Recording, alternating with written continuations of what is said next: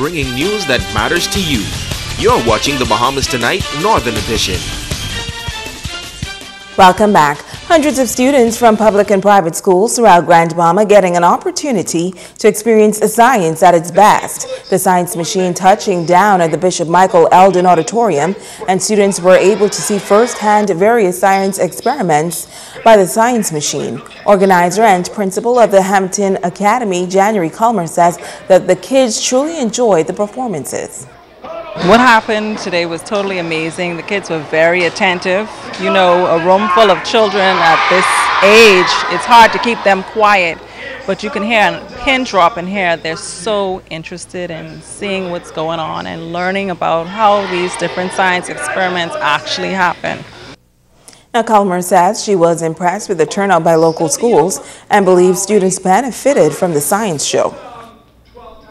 I'm just grateful for all of the schools for actually coming out and showing support. The kids will definitely walk away from here, hopefully not trying all of the experiments. We did teach the safety part of these experiments and what not to do at home and how to do perform the experiments properly. So hopefully we don't have any, you know, mad scientists in the kitchen at home.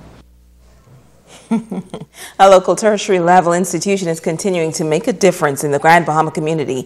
Tarif College has launched a major food drive to aid the Grand Bahama Children's Home. Executive Director of the Grand Bahama Children's Home, Sheila Johnson Smith, says she's grateful that Tarif is helping to meet a critical need.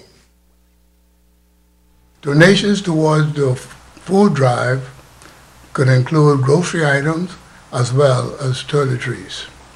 All donations will be given to the Grand Bahama Children's Home in support of their 40th anniversary in serving the Grand Bahama community.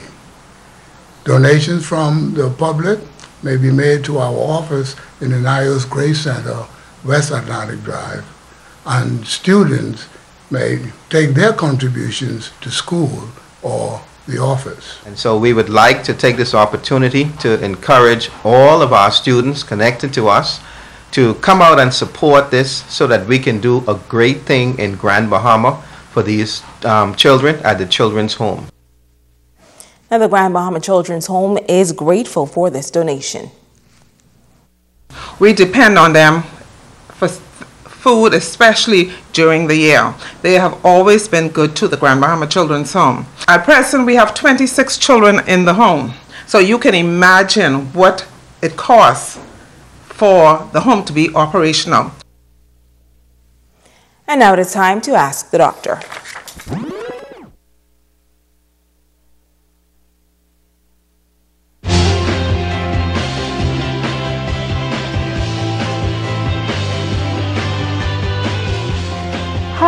And welcome to my special segments this week on kidney disease.